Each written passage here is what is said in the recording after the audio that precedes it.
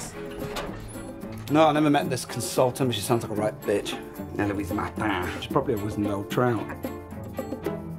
Eloise Martin. Oh, you've got to be kidding me. What happened to you after I left? Drank a lot of beer. Experimented with a serious prawn cocktail crisps have habit. I'm moving to France. So this is a goodbye type scenario. My train leaves at 6.45. You're a right ballbuster. Trapped in a shaft of air, hundreds of feet above the ground with a caveman. I never stopped thinking about you. What was my unforgivable sin? I'm sorry I neglected you. I'm sorry I took you for granted. Is there nothing you'd miss?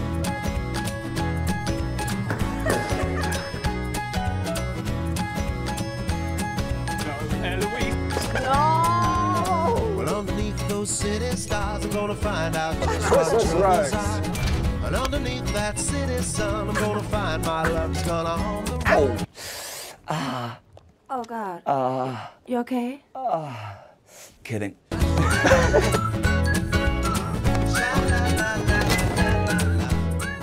want to ask you something in a bit, all right? And I want you to answer me truthfully. No jokes. You're not doing this to me, not now.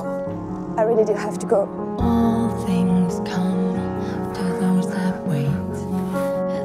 what I'm told, but sometimes waiting's not enough.